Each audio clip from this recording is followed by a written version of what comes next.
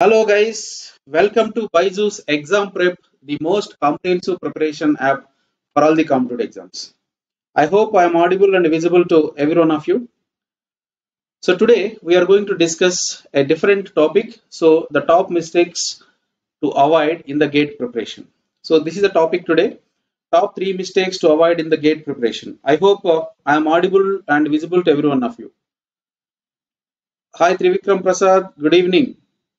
Am I audible? Please confirm me once. Uh, is my audio, video, everything is clear? Before I begin this uh, generic session, so please uh, do share this class information with your friends and also please do subscribe the channel if you have not yet subscribed it and also please do like the session. Am I audible and visible? Yes, yes. Hello Rajeshri Joshi. Good evening. Okay. So today's topic is top three mistakes to avoid in the gate preparation. And before I begin the session, uh, you can just have a look at my profile.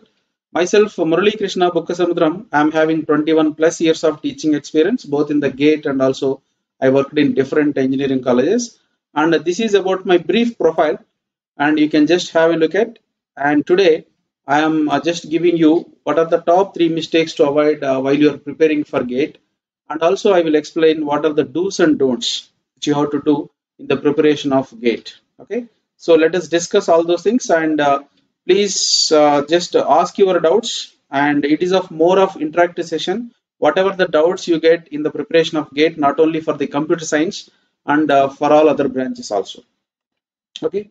So basically, uh, what do you think? What are the top three mistakes uh, to avoid in the GATE preparation?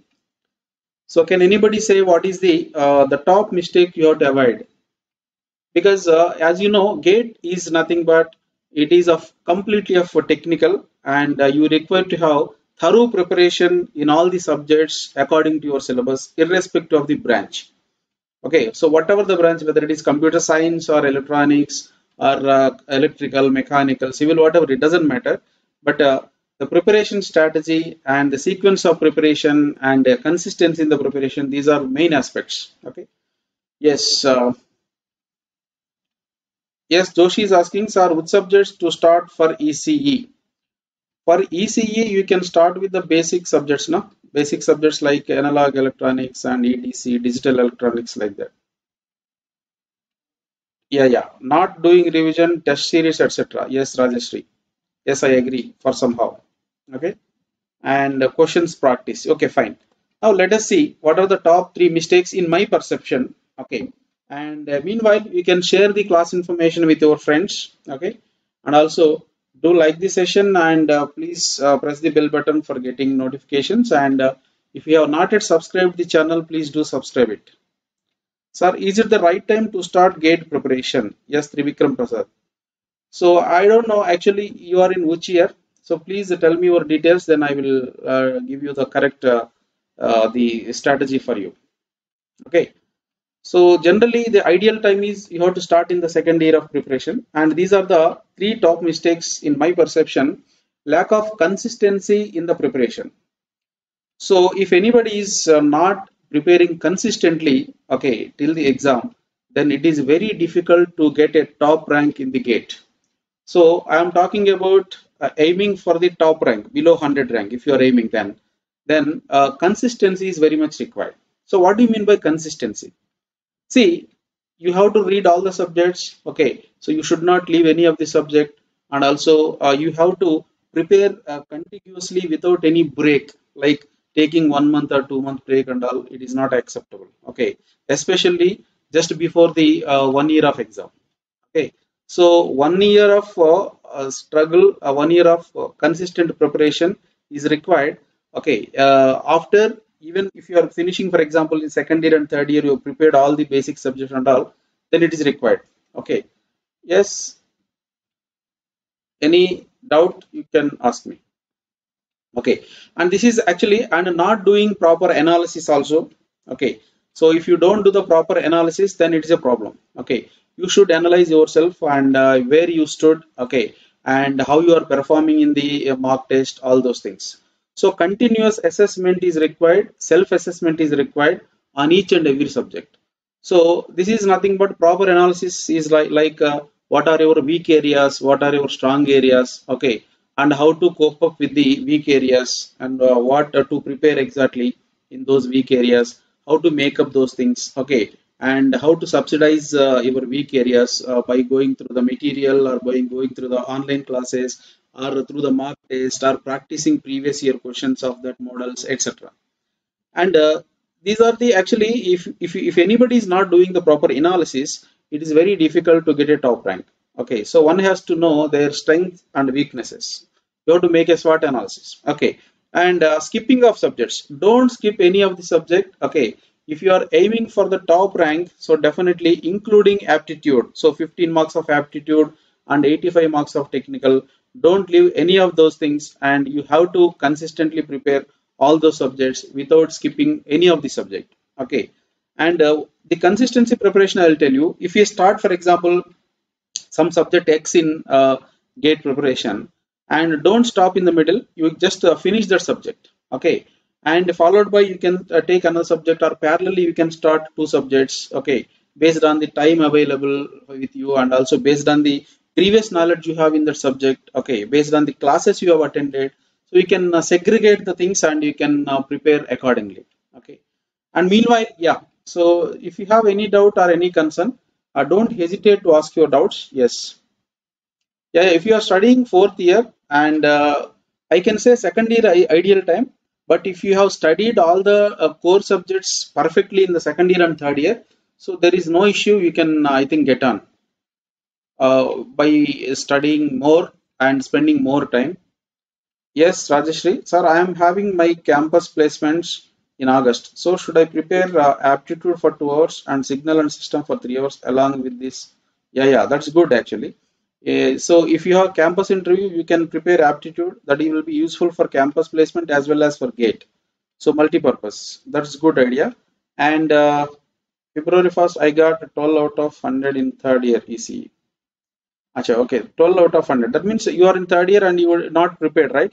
So this time I think uh, uh, you can do better. Okay, uh, you have a try and we'll see what happens. But you should have a consistency uh, till the exam. Okay, like 2024 you are going to attempt okay i wish you all the best and uh, go with these strategies okay and uh, now let us uh, move on to the next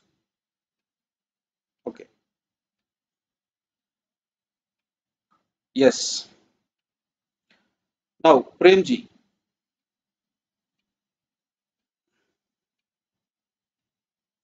yes premji hello sir uh, how to approach technical subjects whether start the subject with formulas or difficult to move to concepts. First, you have to finish the concepts. Okay. Then you have to go with the formulas and practice all those things. So GATE is testing your knowledge, graduate aptitude test in engineering. Okay. Without the basics, without learning subjects fundamentals, it is impossible to even qualify the GATE exam. Okay. So problem solving, if you keep aside, if you don't know the basics, even a single one mark problem also you can't attend. Okay. So basics as well as full length uh, test you have to write and uh, practice questions and everything. It is not only the uh, basics. Yes, Sisodia, good evening. Yes, Joshi. Actually, yeah, yeah, I didn't. Yeah, yeah, no problem. Uh, Rajeshri, you can, I think this time you can get a better rank. Uh, wish you all the best. Okay, now coming to, yeah. And still, if you have any concern, any doubt regarding this, please ask me and uh, so these are the top three mistakes and uh, there, there can be some other mistakes also like uh, doing the silly mistakes while you are solving the problems that you have to avoid and where you are exactly doing mistakes you identify and practice in that area improve in that area. That's what uh, i told you know uh, analysis on the strengths and weaknesses of uh, one caliber so that you can easily get through the next exam. Okay? And yeah. Sir your telegram link. Yeah telegram link uh, i will share uh, in the uh, comment box later on. Definitely. Okay yes and still you have any doubt and uh, before i uh, conclude the session here uh, just let us have some interaction also so i am just telling you some of the things to do and things not to do so you only should tell me what are the things to do, what are the things not to do in the list of items I have mentioned here. So first and uh, foremost thing, solving all previous year question, it is a must. So things to do, I will put a tick mark. Solving all previous year questions is essential. Okay. And uh, attempting mock test is also essential. And reading entire textbooks for all subjects, not required, not necessarily be, not necessarily be. Because reading entire textbook for all subjects actually we can suggest if you are in second year actually if we there are two two things here uh, you can uh, just uh, see this perception here it is like this okay reading the entire textbook for all subject usually the top textbooks for example for every subject there will be some top two textbooks prescribed textbooks. And uh, always we encourage the students to go through the textbooks okay? And also do the exercise problems given in the textbooks. But at this juncture when you are in final year and just only one year of or 10 months of uh, time is there for example then i suggest you not to go to the complete textbook. Instead first listen to the classes okay? And uh, you can go through the textbook so that you can save the time. If you read the textbook without going to the classes what happens? It will take months together for even one subject to learn. For example if you attend for example some uh, subject x or y and uh, after uh, attending certain topic and if you go through the textbook essence of the topic you can understand very easily so that you can save the time. This is a time saving uh, uh, technique actually. So attending classes or uh, just watching some videos and then uh, reading the textbooks will work out. Okay? So there are two things actually here. If you started from second year onwards reading entire textbook at least one prescribed textbook you have to read for every subject and uh, you will get a good uh, exposure in addition to the classes you are attending. And if you have uh, not studied so far and if you have started right now better you attend the classes then uh, go through the textbook so that uh, quickly we can uh, finish the content because top faculty always will teach the essence of multiple textbooks and you can easily understand all the terminologies and concepts Yes, yes. Uh, Telegram group link definitely. i Tushar.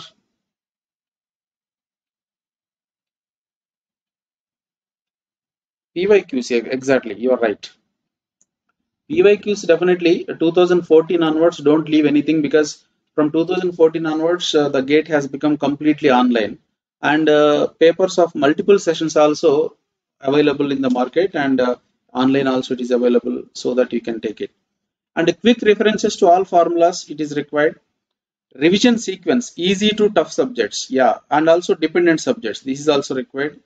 And reading short notes is required. Learning new concepts if the time is very short so i don't suggest uh, learning the new concept. Always learning the new concept is a good thing but uh, that depends on situation. For example uh, just before three months if you wanted to learn a new concept and then practice so a lot of time may get wasted and uh, you may lose uh, some of the marks because you may not be able to concentrate on the concept you already know it. Okay.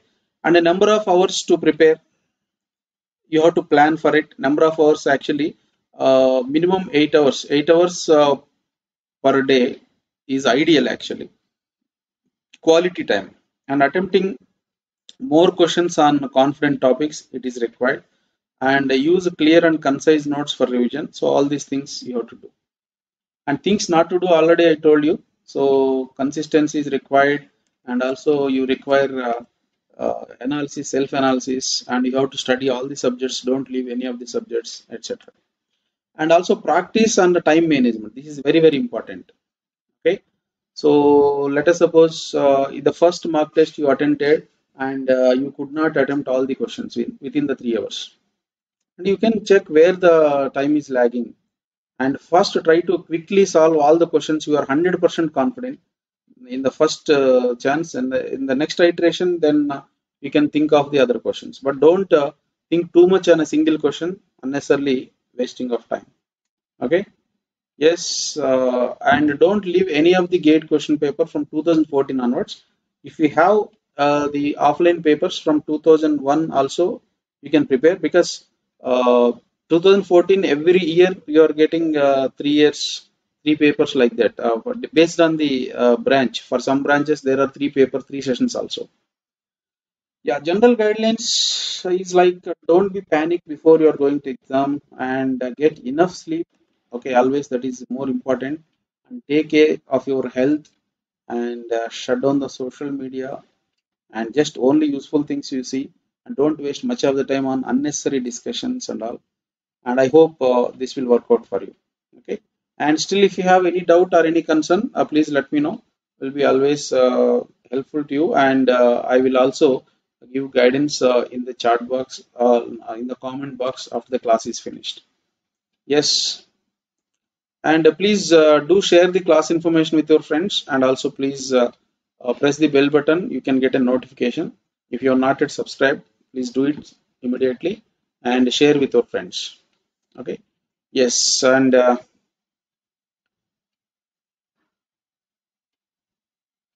not here. Actually after the class is finished in the comment box i will share. Rashri. Joshi. Okay.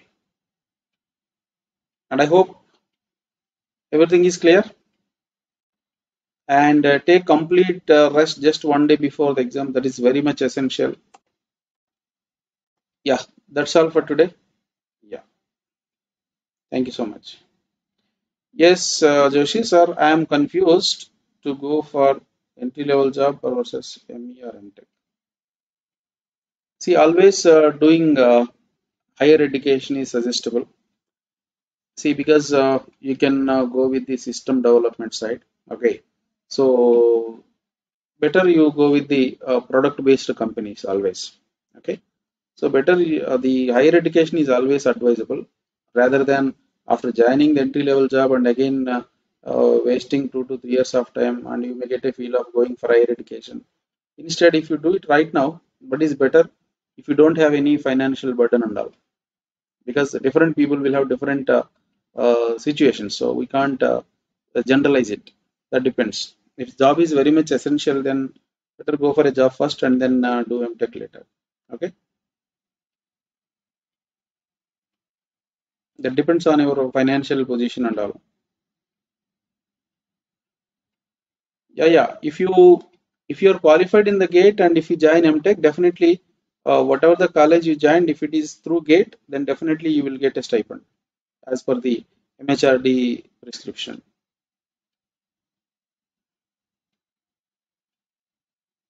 okay? Any doubt? Any other doubts those who have not subscribed please do subscribe the channel and uh, share with your friends. And if uh, there were no other doubts uh, then yeah yeah i will conclude the session. Thanks a lot. Thank you so much. See you all once again. Good night